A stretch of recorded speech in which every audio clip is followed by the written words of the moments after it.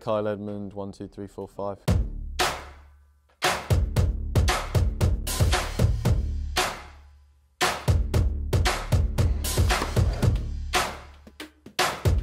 With my game, it's in a good place. I feel good about it, um, confident. So every match, I'm just trying to focus on that. You know, not nothing further, and uh, you know the guy down the other end, and that's it.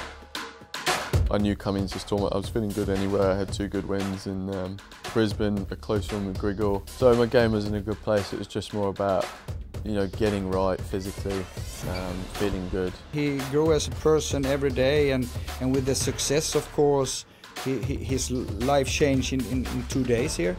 You see the draw, you see Kevin Anderson, you know, you play a better play and nobody expects you to win. And then after that, he played three matches in a row where he was the favorite in my opinion. And he managed that so good. Of course, first time center court, first time quarters, and he did everything right the whole day.